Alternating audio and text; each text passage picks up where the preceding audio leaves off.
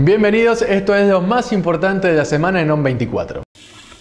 La primera noticia se titula Causó revuelo la conexión Londres-Córdoba. Esto se trata de una noticia que salió a la luz esta semana, difundida por la agencia de noticias Telam, que dijo que la ciudad de Córdoba tendría una conexión directa con la capital de Inglaterra. Finalmente, a la tarde de ese mismo día, las autoridades de la empresa desmintieron que se iba a crear una ruta en este sentido. La ruta que sí se va a crear y que comenzará a funcionar a partir del 18 de diciembre será la ruta Córdoba-Madrid.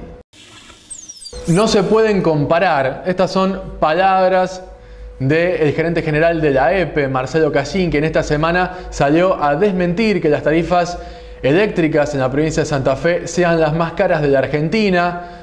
Tomó como ejemplo Edenor y Edesur, dijo que lo que se cobra en tarifas aquí en Santa Fe no puede compararse con lo que se cobra en el Gran Buenos Aires por la cuestión de distribución geográfica de los usuarios, al tiempo que afirmó que es necesaria la recomposición del cuadro tarifario. La tercera noticia se titula Trabajan en la tercera bandeja. Esto se trata de la vida de Newell's Old Boys de Rosario porque en su sitio oficial difundió el proyecto, bastante dilatado ya, de la construcción de una nueva bandeja sobre la cabecera que da al Palomar. Se trata de una bandeja que tendrá capacidad para 10.000 personas y que ahora el club está buscando financiamiento. Uno de los financiadores podría ser el fideicomiso del Banco Municipal de Rosario, institución con la cual Newell's cerró recientemente un acuerdo de sponsoreo.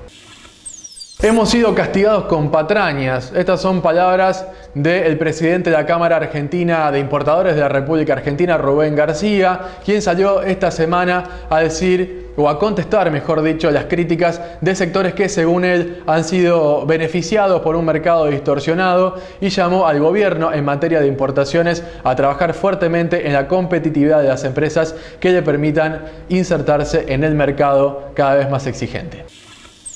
Esto ha sido lo más importante de la semana en ON24, desarrollo de noticias en on24.com.ar, en redes sociales, en Facebook y también en Twitter.